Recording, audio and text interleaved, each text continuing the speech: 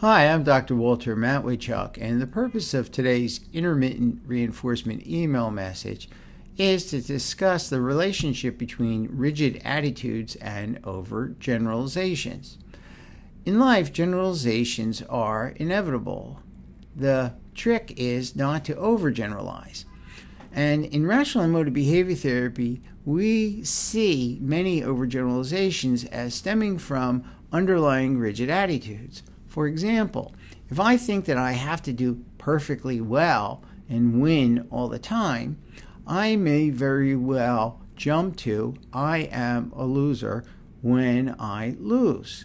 And that statement, that attitude, I am a loser, is of course an overgeneralization. What's true is that I have lost this time. However, to think that I am a loser is certainly too broad a statement. And in rational emotive behavior therapy, we encourage you to spot your overgeneralizations so that you have healthier emotions, emotional reactions. And when you spot yourself overgeneralizing, go back and look at the underlying attitude that may be spawning this overgeneralization. That underlying attitude is usually expressed with a must or a have to. It's usually it's directed at yourself, other people, and life, and you can then refute it. You can transform it into a flexible attitude. So you could, for example, say, I want to win all the time. I want to perform perfectly well, but I don't have to.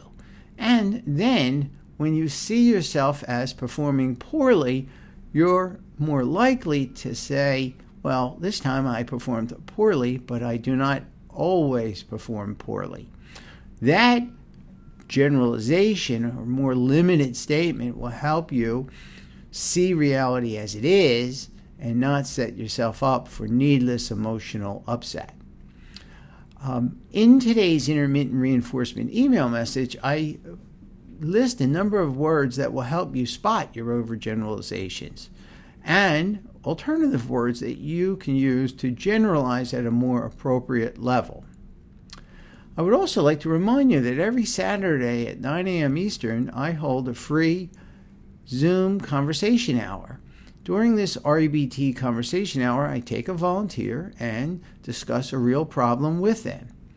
It's free to attend, and I hope you can join me write to me at rebtdoctor at gmail.com to get your free Zoom invitation.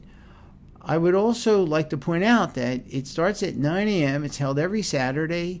That's 2 p.m. in the UK, 4 p.m. in Moscow, 6:30 in India, 10 p.m. in Tokyo, and for those of you in Australia coming in from a late night on the town, that's midnight in um, Sunday morning in Australia.